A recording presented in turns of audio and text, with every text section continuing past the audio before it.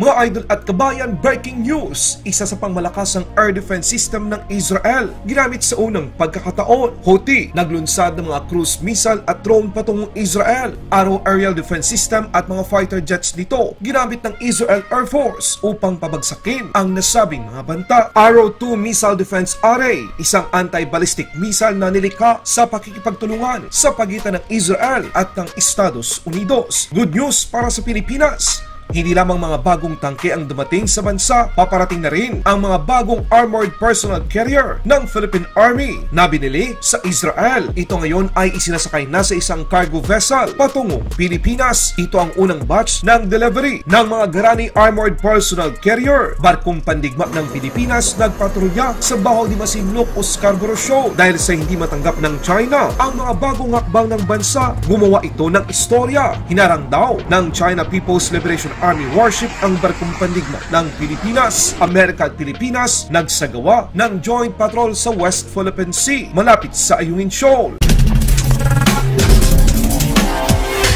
Houthi, isa rin sa mga proxy ng Iran na nakabase sa Yemen, nagdeklara ng digmaan sa Israel. Inako ng Houthi na sila ang responsable sa paglunsad ng mga ballistic missiles at drone sa Israel kahapon. Israel, muling pinatunayan na ang kanilang makabagong teknolohiya at puwersa ay hindi kayang sindakin at tigilan ng mga kalabang Hamas at maging ng Houthi sa Yemen. Winasak ng Israel Air Force ang isang surface-to-surface missile sa lugar ng Red Sea na inilunsad ng Houthi mula pa sa Yemen. Ito ang unang pagkakataon pagkakataon na ginamit ng Israel sa operasyon ang Arrow Aerial Defense System mula noong nagsimula ang digmaan sa pagitan ng Israel at Hamas. Ang iba pang aerial threat ang matagumpay na na-intercept din ng mga fighter jets ng Israel Air Force sa lugar. Kinumpirma ng Israel na walang nakapasok ng mga banta sa kanilang mga teritoryo. Ang lahat ng mga missile at drone ay winasak bago pa man ito makapasok sa airspace ng Israel. Kinumpirma ng Israel Defense Force na isang medium-range ballistic missile ang inilunsad mula Yemen patungo sa lungsod ng southern Israel ay kanilang na-intercept sa Red Sea gamit ang Arrow 2 missile defense array. Ipinakita ng Arrow defense system ng Israel ang katumpakan nito upang supilin ang paparating na banta.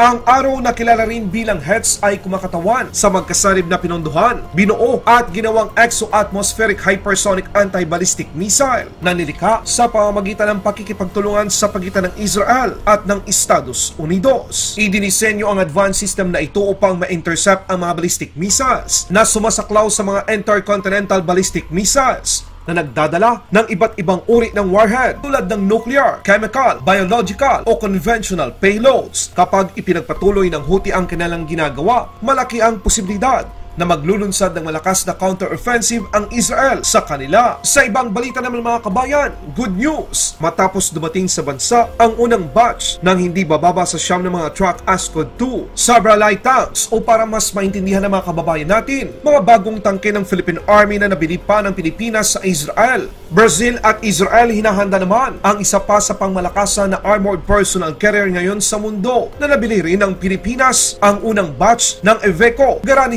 6x6 armored personal carriers ay namataan na ikinakarga para sa nakatakdang delivery nito sa bansa. Ang limang Garani 6x6 armored personal carrier ay gawa ng bansang Brazil. Ito ay lalagyan ng mga armas at iba pang gamit pang depensa tulad ng MK-44, Bushmaster 2 cannon at 7.62mm machine gun ng Albert System, isang defense company ng bansang Israel. Ang Garani 6x6 armored personal carrier ay kaya maglunsad ng anti-tank guided missiles. 28 Garani 6x6 armored personal carrier ang binili ng Pilipinas sa Israel na nagkakahalaga ng halos 48 million US dollar o halos katumbas ng 2.64 billion peso bilang bahagi ng Armed Forces of the Philippines Modernization Program. Isang pagbabago tungo sa isang malakas at world-class na Armed Forces of the Philippines. Lilinawin ko lang mga kabayan, ang 28 Garani 6x6 armored personnel ay maliban pa sa 30 mga light tanks o mga bagong tangke na binili din ng Pilipinas sa Israel. Kaya sa mga nagsasabi na kaunti lang pala, mali po dahil kapag dumating na ang kabuang order na sa halos 6 na po mga bagong tangke at armored personal carrier ang matatanggap ng Pilipinas na halos armado ng malalakas na armas at high-tech na mga kagamitan na mula pa sa Israel, Brazil at Espanya. Salamat sa mga bansang tumutulong na mapalakas ang puwersa at depensa ng Pilipinas. Eto na sa bagong diskarte ng Marcos Administration sa pagitan ng karapatan ng Pilipinas sa ating mga nasasakit kasakupan at teritoryo. Pilipinas, ipinadala ang barkong pandigma sa Baho di Masinloc o Scarborough para magpatrolya. Ito ng unang pagkakataon na nakalapit sa distansyang 12 nautical mile sa Baho di Masinloc ang isang gray ship o barkong pandigma ng Pilipinas matapos ang insidente noong taong 2012 sa pagitan ng Pilipinas at China. Sa madaling salita, kung tinetesting ng China ang magiging reaksyon ng Pilipinas ngayon, ginagawa na rin natin yan sa kanila. Dahil kung meron mang bansang siyang may karapatan sa Baho di Masinloc,